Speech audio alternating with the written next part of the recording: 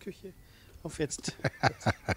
Vom äh, Kalkstaub von letzter Woche geht es heute zu einem ganz anderen Staub.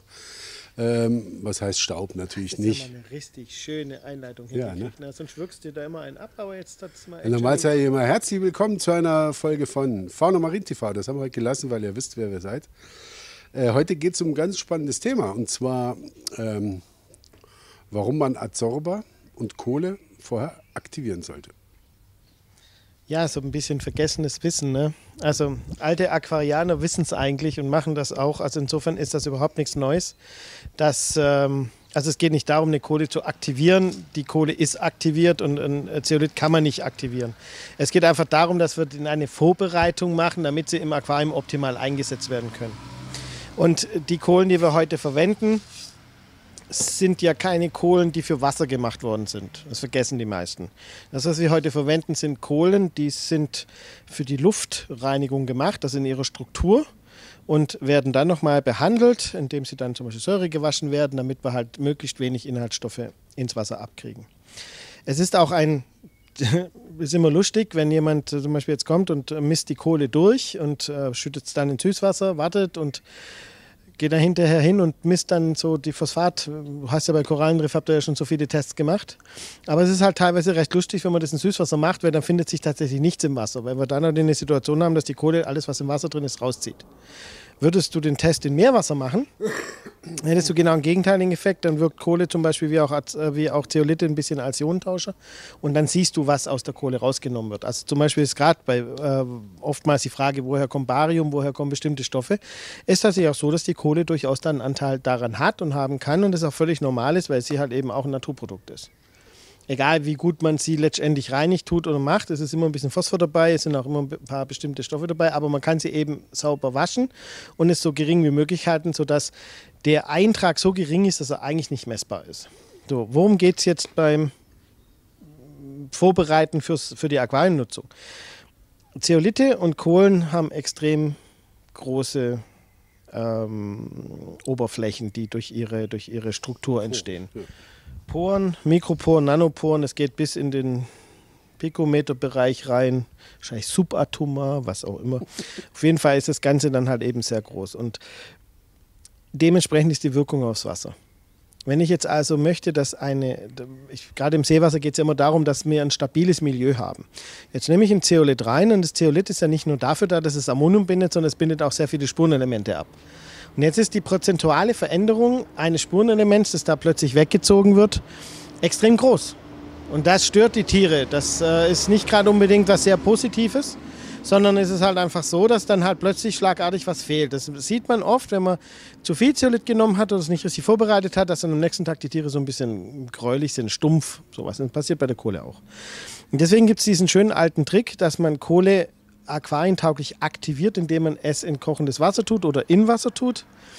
Ich mache das meistens so, ich übergebe das gerade, ich mache das meistens so, dass wenn ich, wir haben ja die, die, die großen Eimer, wenn jetzt also tatsächlich ähm, Kohle geliefert wird, dann, dann schütten wir das Wasser schon in die Dose rein, äh, lassen es ein bisschen ziehen, also man muss den Deckel offen lassen und schütten es ein, zwei Mal ab und dann wird es in Wasser gelagert und dann kann ich es immer so verwenden, wie ich das haben möchte. Ja. So, müsste man das jetzt nochmal, ich versuche das mal zusätzlich zu filmen. Das ist immer ein schöner Effekt bei der Kohle. Ja, also bei der Kohle jetzt ganz kurz, ihr könnt jetzt ja hier sehen, also es handelt sich da um unser KPL.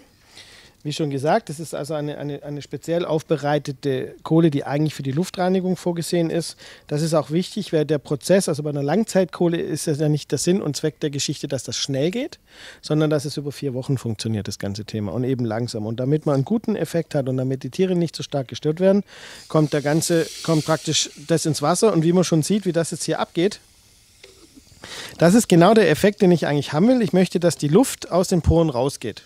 Das heißt, die ganzen Poren sind mit Wasser gefüllt. Und der Austausch vom Wasser aus den Poren ist natürlich viel langsamer als der mit Luft.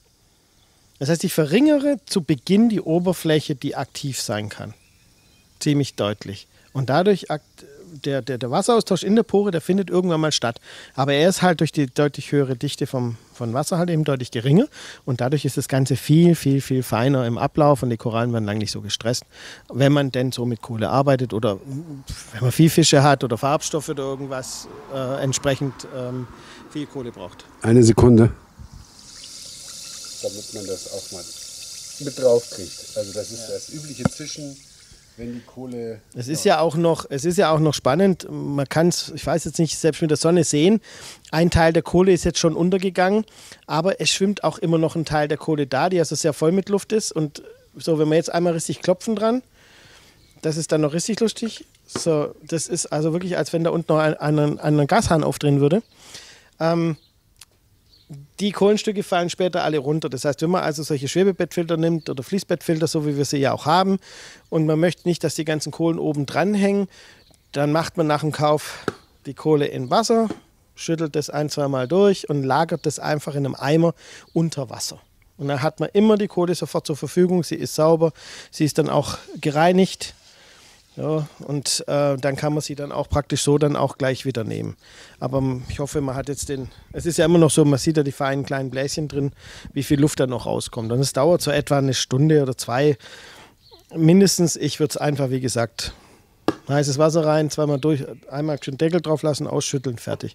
Und dasselbe gilt genauso fürs Zeolit, auch weil es im Prinzip dasselbe Medium, also was eine ähnliche Wirkung hat, Bedarf hat.